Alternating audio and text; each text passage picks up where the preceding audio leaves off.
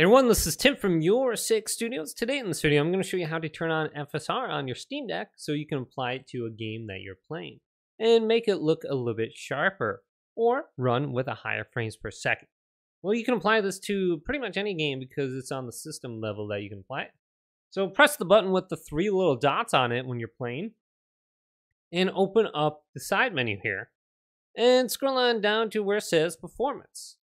Now you might want to go to the performance overlay and just turn this on so you can actually see your frames per second on the top.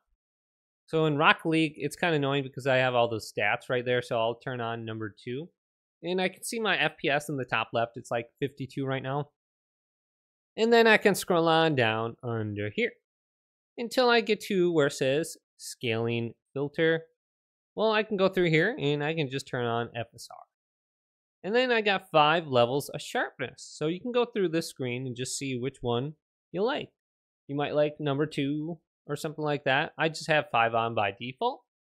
And you can look at that and see if it makes a difference in your game. And you can change all these different options and just see if you get higher frames per second in one option versus the other. So it looks like I'm getting like 90 frames per second with this option, just the default one, linear. Then if I go to pixel, will this change it at all?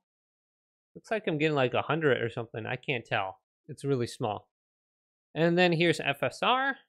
It's going to make it sharper. This drops it down to 52, I noticed. And then NIS right here.